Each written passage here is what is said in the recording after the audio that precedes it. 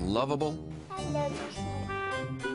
kind of quirky looking, medium-sized white dogs with spots all over. And the spots are really, really all over.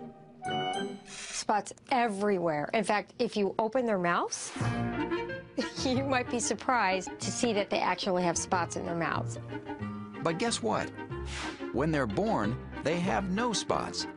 Dalmatians are actually born all white, and then the spots develop as they mature. You know, they're cute, they're mascotish. Believe it or not, George Washington was the first breeder for Dalmatians that we know of in the United States. The Dalmatian. It's the dog famous for riding along on the fire truck. I would have to guess that firemen like to hang out with Dalmatians because they are great attention grabbers. Most firemen grab my attention anyway, but It's the dog hanging with the Clydesdales, protecting the beer. And it's the dog who hit the big time with Disney's 101 Dalmatians movies. But with the Dalmatians' fame came a price. Owners getting the dogs thought they would be just like the sweet, loving creatures they saw in the movies. But guys, that's Hollywood. There was a lot of indiscriminate breeding, sort of puppy mill type stuff. There are issues with temperament and uh, aggression. But not all Dalmatians are problem dogs. With the right breeding and training, these eye-catching animals can be great pets. The Dalmatian's origins are actually a little bit hazy. It's a really ancient breed. Some people think that it may go all the way back to Egypt. In the beginning, those polka dot hounds were bred as war and guard dogs. This is one of the, well, I think the only breed of dog that was bred for what they call coaching. They would run alongside the stage coaches and they would clear the crowds out of the way. These society dogs went from protecting rich people in horse-drawn carriages to protecting horse-drawn fire trucks.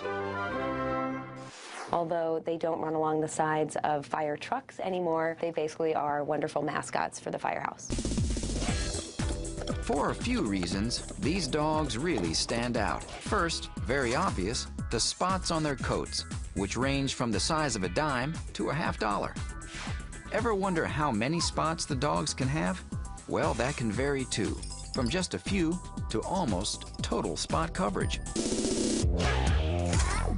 Another cool quality, their stocky body and strong muscles, which give them the power to run and run for miles on end. They're very, very active dogs. In fact, if you're a jogger or a runner, a Dalmatian is going to hit the spot. They do like to run away, and they have what's called selective hearing. So you can say, come, come here, come here, and they just don't hear you. Yep, these dogs can be independent and stubborn. But don't be fooled. These rambunctious hounds are super smart. They're amazing dogs and they're really intelligent. And because they're really intelligent, they seem to sometimes think that they know that they're boss and not you. So you just have to make sure that you start early, consistent, patient training when they're puppies. Good puppy. Full-grown 40-poundish Dalmatians are sort of cat-like in cleanliness with little grooming. And if you decide to get a Dalmatian, ask for a raise because these dogs can have health issues. Bladder stones can cause a lot of problems, so they need to be fed a special diet. But most importantly, if you do get a Dalmatian, make sure these bundles of energy fit your lifestyle. In general, Dalmatians need lots of running room. They can have health issues like deafness. Dalmatians are easy to groom and trainable, can make good family pets for active families.